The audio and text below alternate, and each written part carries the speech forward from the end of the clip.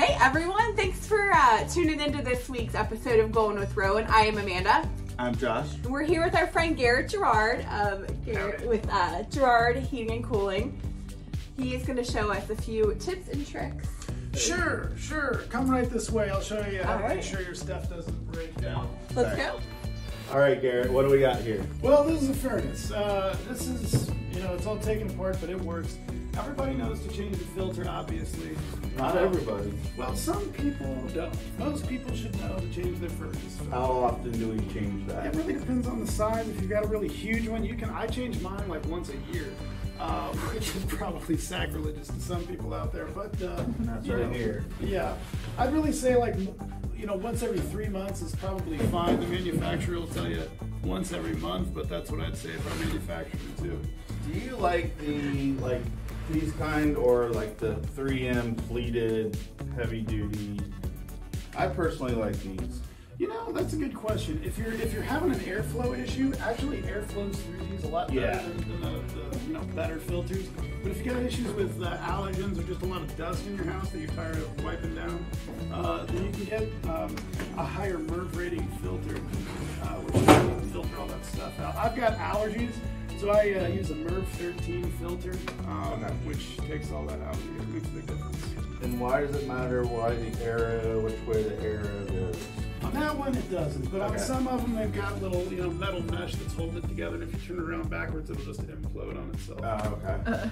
I think it's funny, so I don't Yeah. discourage it. Um, what are some issues usually people run into when their furnace breaks?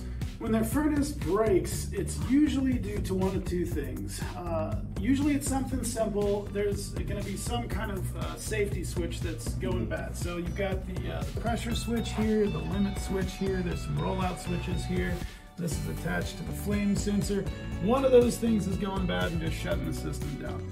Um, or the heat exchanger could be falling apart and you need a new furnace. But usually, you know, especially if it's only 15 years old or so and you're having issues, all right, so if you want to know what's wrong with your furnace, if it's not working, usually there will be a little peep sight uh, in the bottom panel here. You can look down on this board, and right there's a little uh, ready light. Yeah. Um, and if it's, you know, uh, solidly uh, flashing just like beep, beep, beep, beep, that's fine. But sometimes you'll get two flashes or three flashes or seven flashes, and that'll tell you what sensor is going bad and what you need to replace. So it's kind of Okay. a cheat code. Okay.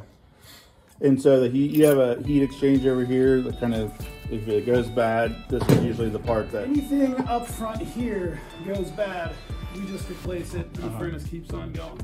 If this goes bad, this is the heat exchanger back here. Uh, if that goes bad, you kind of need a new furnace. That's Ah, sort okay. of the motor. You can't just change the heat exchanger out, or it's just not worth it. It's just not worth it. Usually at that point, the furnace is toast. It's like changing the engine and Yeah, got on a 1987 Cutlass. It's just kind of not worth doing. I mean, you could, but like, why? Right. You know. So what's the average furnace usually last?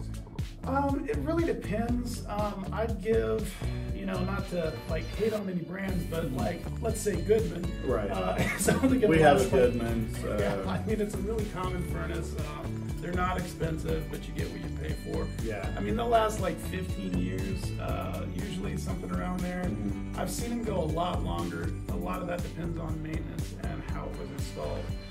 But like, you know, after 15 years or so, you're on borrowed time. This, yeah.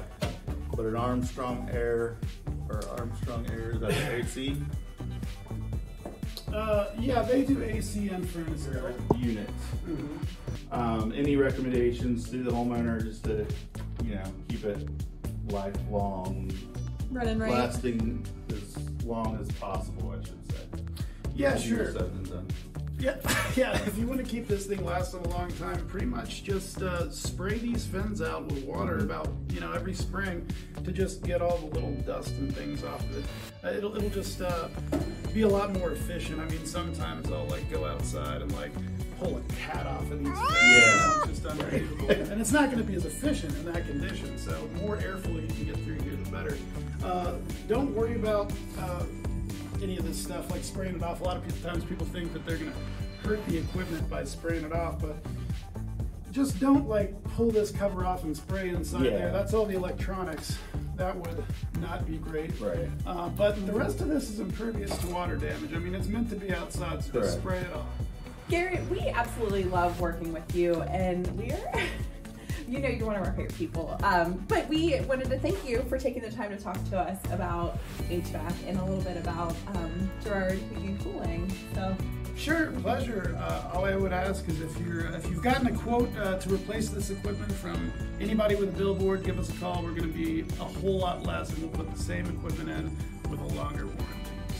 So never to use anybody else. And uh, you guys really have some pretty top-notch dad jokes, so we always, I know clients appreciate that as well. It's really nice. Um, the Roen Group also wanted to thank commercial specialists for allowing us to come in and film in such an awesome space. They What a uh, killer training room. training room. I hope you guys Thanks, enjoyed this Pat. episode. Also, yeah, thanks. We got Pat over here. Are you camera shy, or do you want to come say hi? No, I'll come say Okay, hi. this is Pat. Hello, everybody. Pat, Welcome to Commercial Specialist. Glad you guys can come by.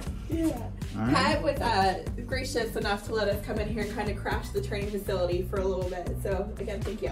But uh, we hope you guys have a great week. If you have any questions for us to cover on future episodes, we would love to be your helpful resource in real estate or anything else home related. Garrett, again, thanks. Have a good week, everybody.